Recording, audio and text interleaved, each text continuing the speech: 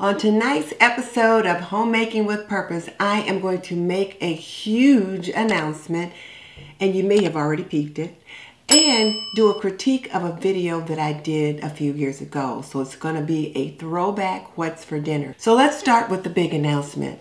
I changed the name of my YouTube channel. It is no longer called This and That with Denise Jordan, but it is now called Homemaking with Denise. I just wanted a name that reflected more what it is that I do today. When I chose the name This and That with Denise years ago, I wanted to talk about a variety of things, and I did. But now that I've pretty much niched down to homemaking, I decided I wanted to call it Homemaking with Denise, and maybe that'll make it more easy for you to find me. And YouTube is pretty good about getting those things switched over. So all of my older videos and that kind of thing, they are gradually, slowly changing the names to Homemaking with Denise. Now let's take a look at this throwback video. It is called TNT Live What's for Dinner and I'm making a chicken and noodle dish in less than 30 minutes. The first thing I did was put my noodles on to boil. I filled my pot with about four quarts of water and sprinkled in two teaspoons of salt. My noodles of choice, Essenhaus noodles. Now here's the thing.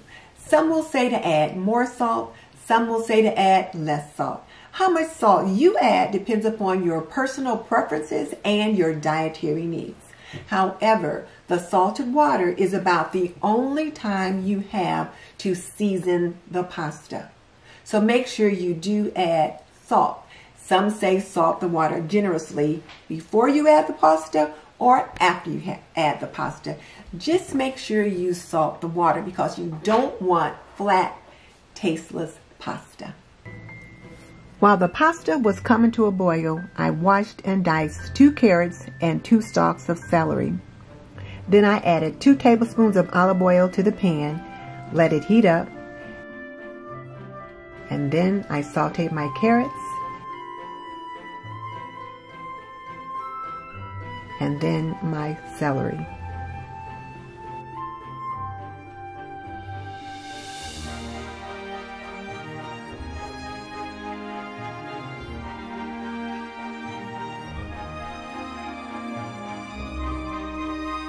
Was really quite interesting to take a look at that to kind of see how I did things three years ago and how I do things now.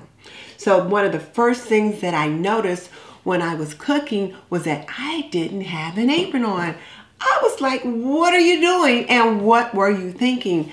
Today, I would not even walk to the sink or walk to the stove without putting an apron on because I would want to protect my clothing. I'd want to stay clean and mess free. And I did not have an apron on, so I certainly would not do that today. And I let the pasta finish cooking in that. And oh my goodness, the noodles soak up the chicken broth and it makes them taste amazing. Then I add my soup. You can either add two cans of cream of chicken or one can of cream of chicken and one can of cream of mushrooms. It's your choice. I'll usually add one of each if I know that I'm not dealing with any mushroom allergies. One of the other things that I think I do a pretty good job is, is showing different view perspectives when I'm actually cooking. So I bring you up close so that you can see what I'm doing, that kind of thing. But I did notice that on this video, I talked for the first two minutes. I was like, oh my goodness. Am I ever going to stop? But yes, I started out talking about what I was going to talk about. I told you what I was going to talk about, and then I talked about it. So no, I don't talk quite that much anymore. Today, I just try to jump right into the video.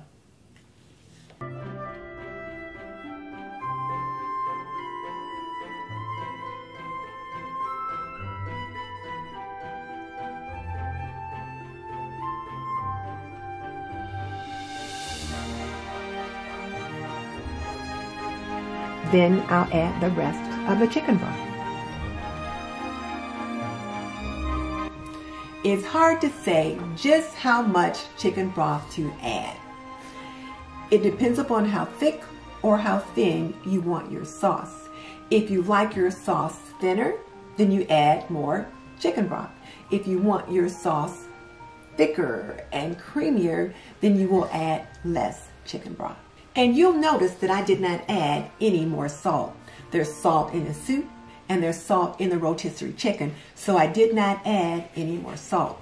You can decide whether or not you need more salt based upon your personal taste. Now here's a question for you. What spices do you like to add when you're making chicken and noodles? Tell me in the comment section below. April says she likes to add cayenne pepper and thyme. So that's going to give it a little bit of heat. She says there's also an island spice that she likes to use that has onions and garlic and a combination of other island spices that she enjoys in her food. Mickey says she likes salt, pepper, and a little onion powder. So what do you like to add to your chicken and noodles? Now that the noodles and sauce base is ready, I'll add in the carrots and celery.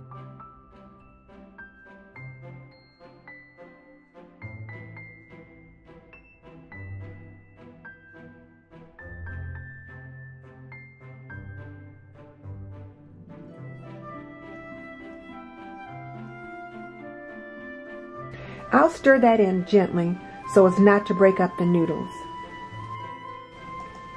And then it's time to get my chicken out of the bag and into the pot.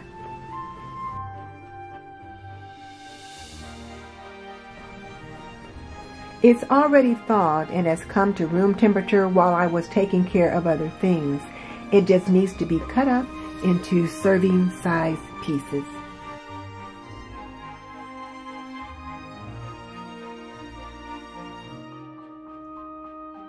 You can take the skin off or leave the skin on. Again, that's up to you. But leaving some of the skin on provides additional flavor. Now in this particular 30 minute meal, I am using a rotisserie chicken to get the meal on the table quickly. And I'm using a steak knife to cut the chicken up, which I don't do today. I've got some much nicer knives to work with. And the other thing I did was I cut the chicken into eight or nine pieces. and I put the pieces into the pot rather than shredding the chicken up. Today, I shred the chicken up into bite-sized pieces. And one thing that I got quite a few comments about on this particular video was when I had my cutting board on the counter, it kept kind of moving around a little bit when I was trying to cut up the chicken. And so many people sent me comments and said, if you put a dish towel underneath the cutting board, it won't spin around. Well, thank you for that tip.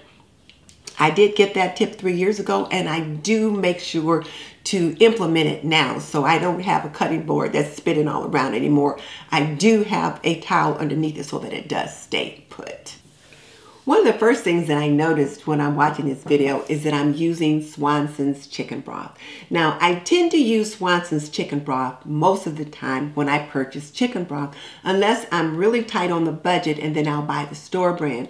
However, I have now learned to make my own chicken broth, my own vegetable broth, so I tend to do that. I'll try to keep maybe one or two cartons of purchased chicken broth on the shelf just in case, but I almost always have chicken broth in my freezer that I've made myself or the scraps in the freezer for the making of it. So I rarely purchase chicken broth anymore.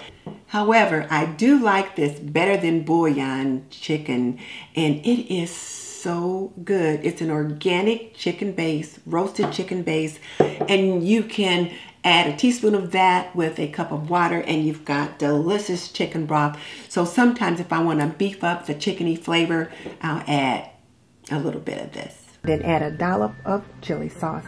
And if you've been following me for any length of time, you know that I like to add a dollop or two of chili sauce in most foods that I cook. Now, some people get a little bit crazy when I say I like to add chili sauce to a lot of my foods.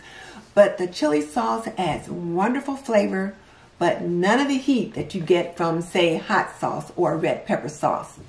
All flavor, but no heat. I'm not one who likes hot foods, but I do enjoy flavor. I started adding chili sauce to my food, oh, about 10 years or so ago when I made a recipe called Creole Chicken, and the author of the book encouraged us to use chili sauce in the recipe. And it was so delicious. It really made that recipe so flavorful, but there was none of the heat that you get with hot sauce, and I have been a believer ever since. So what's your secret sauce? What do you like to add when you're making dinners for your family? Now I do add a dollop of Heinz chili sauce in the video and then I go so far as to explain why I use the Heinz chili sauce and I probably wouldn't talk that quite that much about that today but there were quite a few comments about that originally. Now people that follow me know that I always put in a dollop of chili sauce so it's not a big deal. However, since I made that video three years ago, I've been doing a lot of canning and making things myself. So now I make my own chili sauce. And so I don't purchase the Heinz chili sauce anymore. I'm using the, my own that I've made from tomatoes that I've grown or tomatoes that I picked up in season. Now, one of the big things that I noticed when I plated up the meal was that the chicken in the dish had the skin on it. Today, I would not leave the skin on the chicken. I'm on the Weight Watcher program, and it is recommended that you remove the skin. That's going to reduce the fat, reduce the calories, and it's going to make it healthier for you. Now, of course, the fat from the chicken does add flavor, but if you use a combination of white meat and dark meat, you can get that flavor added that way. And if I'm making my own chicken broth and I leave the skin in the pot when I'm making the broth, once the broth cools and it gels and the fat rises to the top, I'll take a spoon and scrape that fat off the top and get rid of it. One of the things that I noticed is that I'm using my Curtis Stone cookware, which I still use today. I've had that cookware probably for about five years, and it still looks just as nice today as when I first got it. I mean, it does look like I've used it, but it still looks pretty darn good. However, I've also added the Caraway enamel cookware to my cooking toolbox and I really like the way they cook, the way they work. So I've got that now, which I didn't have then. Now to get this meal on the table in less than 30 minutes, starting with a rotisserie chicken was half the battle. The chicken was already cooked and already thawed. And I've already made this meal before. So I was not making something new. And that's key. When you've got to get a meal on the table in a hurry, you can't be, or rather you shouldn't be trying something new. Now, something else to think about is this. You could possibly get two meals from this rotisserie chicken. You could cut it in half and have half of it on Sunday for Sunday dinner with maybe a baked potato and some veggies on the sides or whatever. And then the other half shred up into small pieces and put that into your dish for your chicken and noodles. So then you would have two meals from that one meat. The other thing you could consider is using canned chicken. Either way, you could get a meal on the table pretty quickly. This meal was absolutely delicious and the hubby loved it. And I served it up with green beans and cranberry sauce on the side. What do you like to serve on the side when you make chicken and noodles for your family? If you like this video where I showed you how to make the chicken and noodle dinner in less than 30 minutes, click on this video right here where I show you how to make a turkey pot pie from your leftover holiday turkey.